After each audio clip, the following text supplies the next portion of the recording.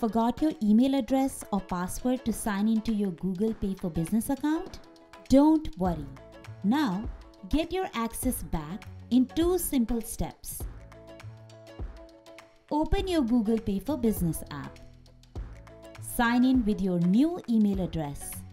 Select Set up a new business if you are the owner. Enter your mobile number and the OTP you'll get via SMS. Business accounts linked to your mobile number will be shown. Select the account you want to get access to. Tap on Start Now. After that, Google will deposit a small amount of money into your bank account.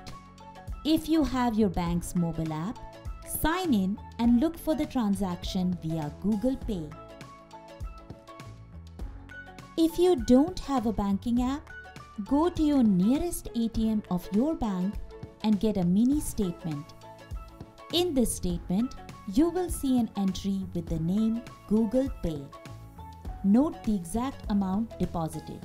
Come back to the Google Pay for Business app.